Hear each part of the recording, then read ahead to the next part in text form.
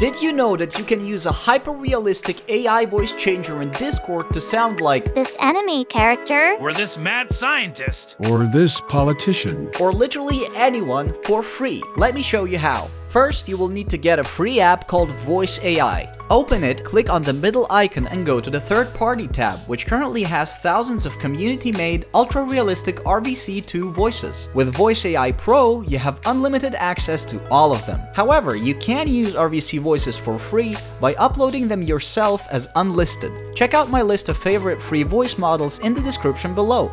After you get the model zip file, drop it into this upload window, enter the name and change this privacy setting to unlisted, and voila! Once it's done processing, you can train the voice for free and start using it. Select the voice, choose your microphone from the drop down menu and press record. Hi there, this is my voice now. Hi there, this is my voice now. It works, awesome! Now you can switch to live mode and turn on the voice changer. Keep in mind that the light voice changer requires a powerful GPU, so make sure to adjust the faster better slider to get the best results for your hardware. Last but not least, go to your Discord voice and video settings, select the Voice AI audio cable as your default mic, and make sure to turn off these settings to help the voice changer audio sound clear and unhampered.